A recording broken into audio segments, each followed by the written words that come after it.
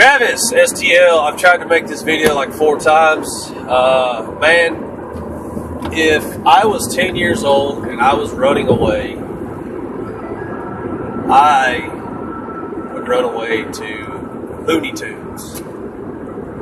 I was in love with Looney Tunes. Um, Tasmanian Devil was my favorite. I would probably take all my Looney Tunes shirts that I had at the time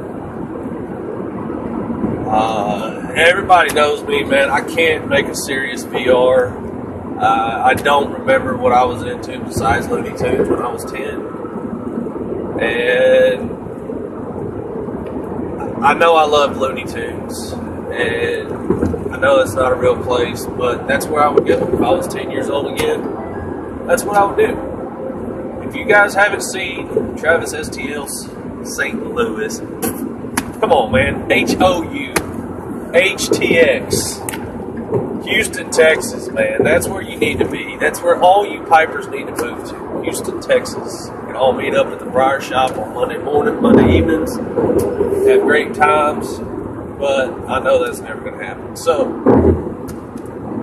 congratulations on the sub, subs.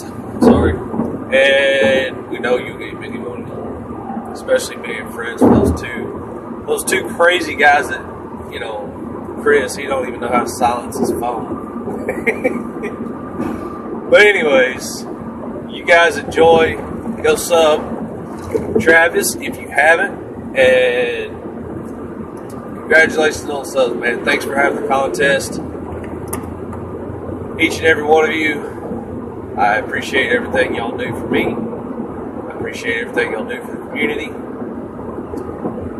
That's for everybody watching this video. So, Y'all take her easy. Enjoy your smokes. See y'all next time.